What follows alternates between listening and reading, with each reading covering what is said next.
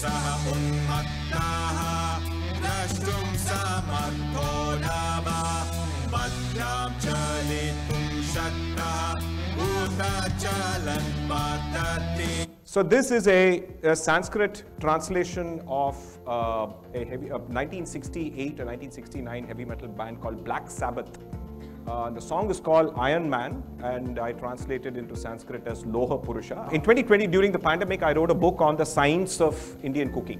Other than that, obviously, columns uh, and then uh, blogs for many years, internet memes for many years, uh, more music, uh, and and obviously Instagram reels focusing on you know food misinformation. I head the digital workplace unit at TCS, so that's my day job, right? So I'm a software engineer, electronic engineer, became a software engineer, and do all of these other things. So obviously, I think uh, the interesting question to ask is how do I find the time? Okay, um, and uh, the reason I sort of structured my talk around this is to fundamentally say that there is a there is this growing intersection between being what I call a strategically lazy engineer and a creative and a good designer.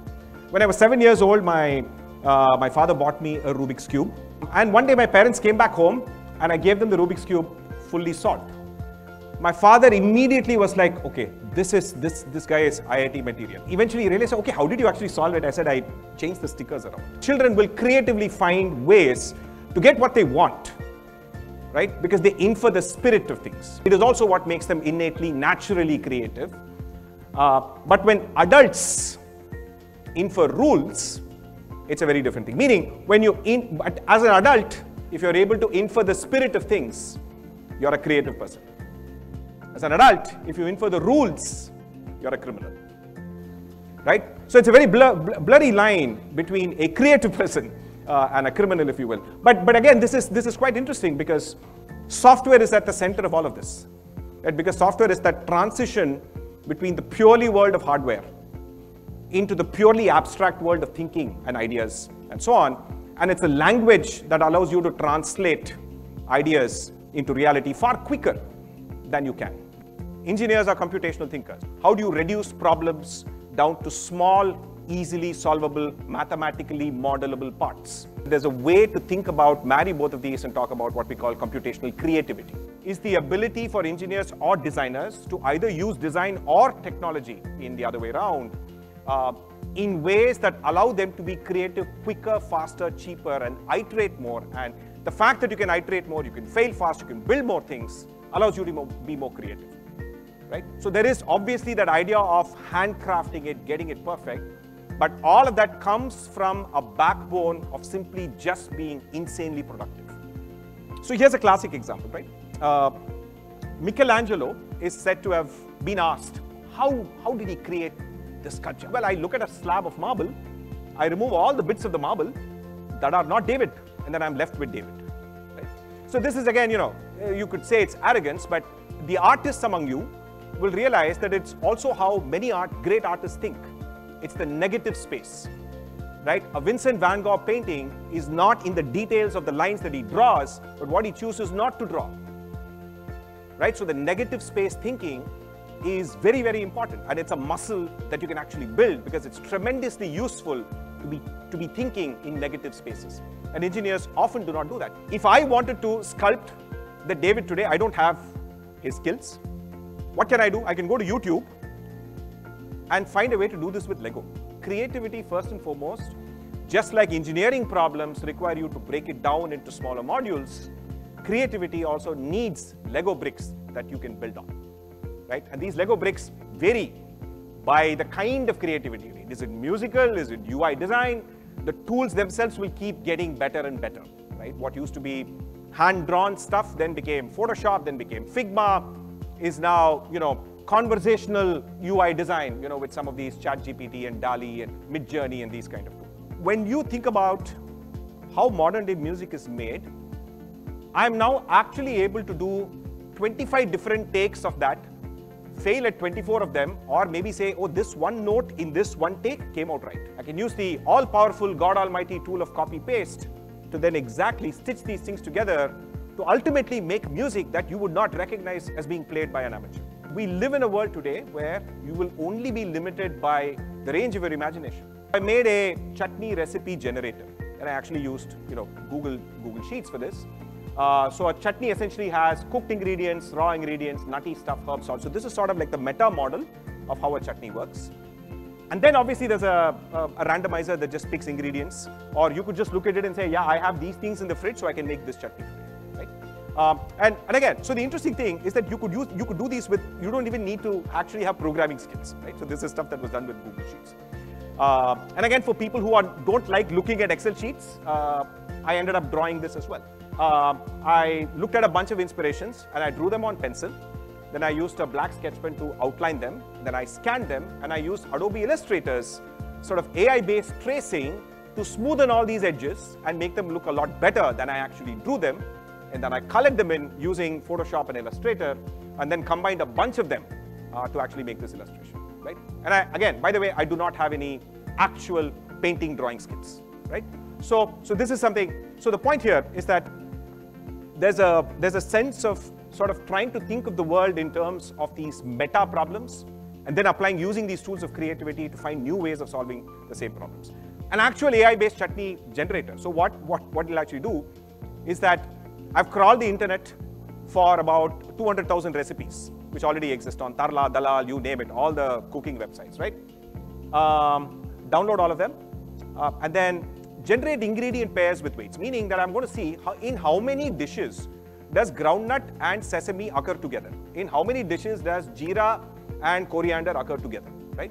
And sort of create weights to say that these two ingredients tend to go together more often than not, right? And after that, encode my grandmother's rules, rules of thumb, saying that you shouldn't have more than two nutty ingredients, you shouldn't have more than three vegetables, you shouldn't have more than one garnish, and, and so on. Those kinds of broad rules.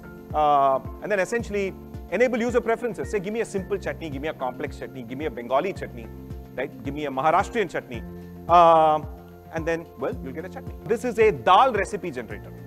Again, this comes from, again, viewing the world as a series of meta models, right? Meaning that a sambar is a dal, a Gujarati dal is a dal, there are Maharashtrian dals, there are Bengali dals. They might use different legumes. Chana is a dal, Rajma is a dal, right?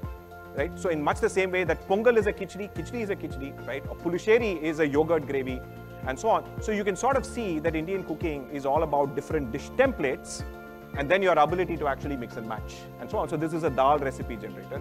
This is a salad recipe generator, and so on, right? And this is a series of instructions for how to make uh, the perfect egg, and this is instructions for how to make perfect coffee, and this is for how to make the perfect Manchurian or stir-fried, you know, noodles and fried rice, Uh, a five-step algorithm to do that.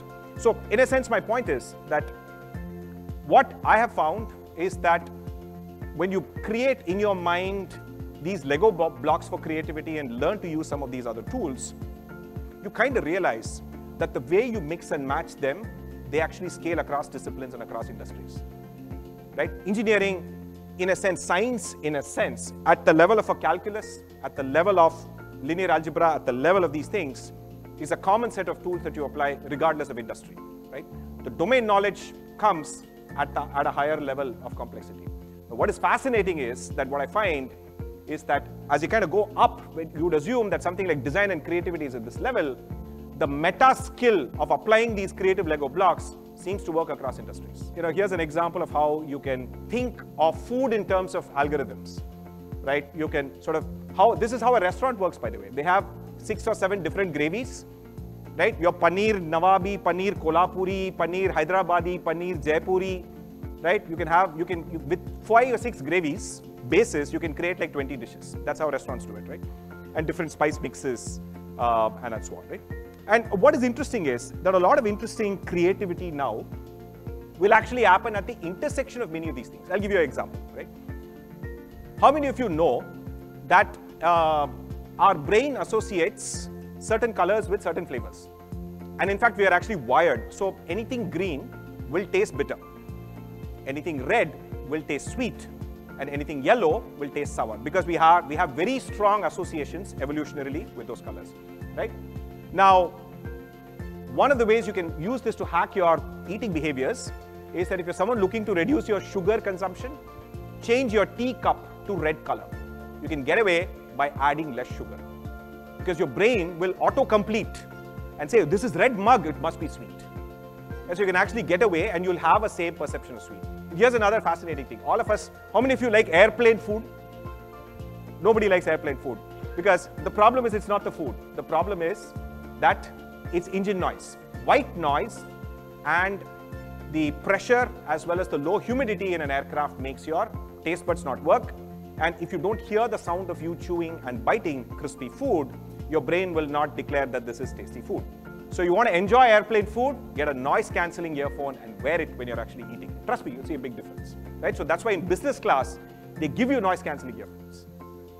The younger amongst you will all know Cadbury's Dairy Milk. What is the shape of Cadbury's Dairy Milk? Right? So it's, it's rectangle, but the individual pieces are rounded at the top. Right? They're rounded at the top. They were not rounded at the top in the past. Those of the older of you will know that they were actually straight edges at some point of time in the past. And do you know why they became rounded? They get to keep the same size but use less chocolate, a few grams less chocolate because rounded shapes, less volume, simple mathematics, it's simple geometry, right? And what did the public react to? They said, what have you done with the recipe? This chocolate is now way too sweet. So public outcry, huge public outcry, the CEO had to come out and clarify and say, no, we have not changed the recipe. All we've done is change the shape. And then a bunch of actually gastrophysics researchers essentially found out that rounded shapes are more closely associated with sweetness and angular shapes are associated with less sweetness.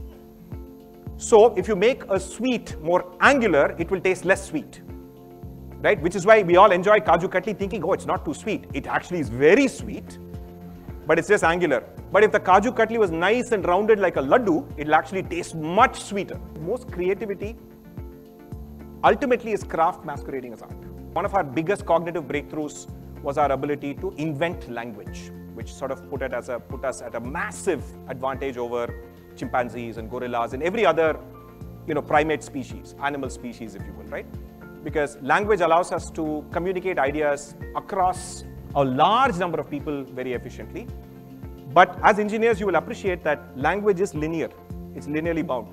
You can only speak at a certain rate, right? You can't speak any faster. People won't understand, right?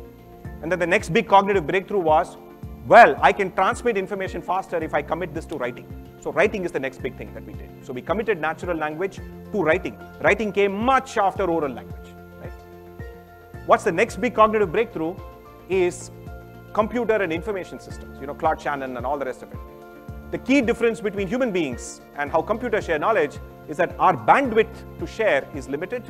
Computers have potentially infinite bandwidth. When we invented computing, we said, unfortunately, computers can't speak natural language, so now you have to learn assembly language. Then they said, okay, fine, we'll make it Java. Then they said, we'll make it, you know, Python and so on.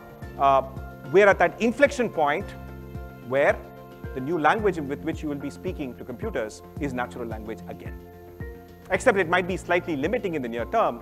But in a way, it's a tremendous democratization for creativity. You need to learn prompt engineering, right? Uh, it is just natural language, but it's also a very interestingly structured way of describing things.